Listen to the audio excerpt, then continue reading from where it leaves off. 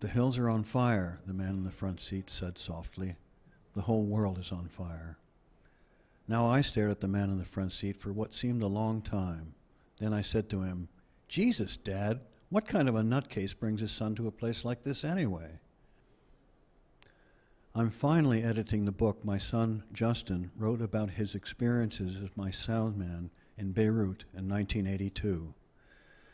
I'd been a newsreel cameraman since 1967, based in Beirut, Cairo, and Rome.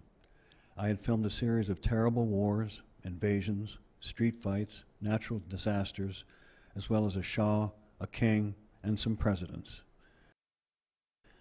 Justin had just finished an appalling stint in high school with little prospect of college. I told him that if he went, he would have to pay for it himself. So Justin became my sound man, and one of our first assignments was the Israeli invasion of Lebanon. So it was back to Beirut, serious fighting, and the Sabra Shatila massacre. Months later, back in Rome, one of our friends commented, he left as a boy and he came back as a man. A baker's apprentice, he used to call me. I would always bake ciabatta for his visits with his wife and two daughters. My last documentary footage was the changing of Justin's IV in a hospital room at Memorial Sloan Kettering in New York.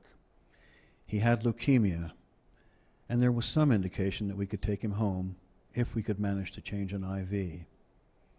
We spent three months with him there, never dreaming that he would die. If I had known, if I had known that he was that close, I would have held him very close for every minute of those last three months.